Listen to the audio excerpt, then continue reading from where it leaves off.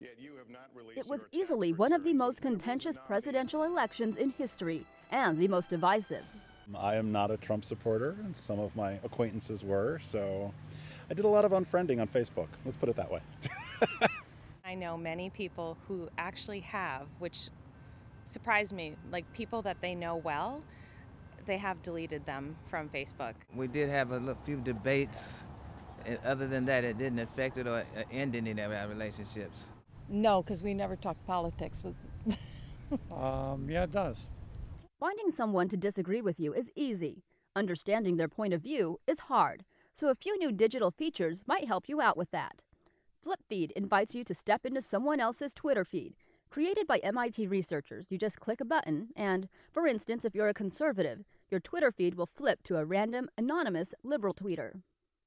The iPhone app Read Across the Aisle color codes each news website from moderate to partisan and tracks your reading history. If you're reading mostly on the left, it'll send you an alert to get out of your bubble and read a news story from the right. And the Chrome extension Escape Your Bubble lets you do just that. After asking which party you want to learn more about, it will insert stories into your Facebook feed to expose you to different political views.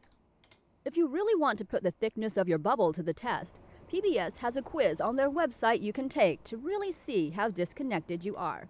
I'm Jessica Sanchez reporting.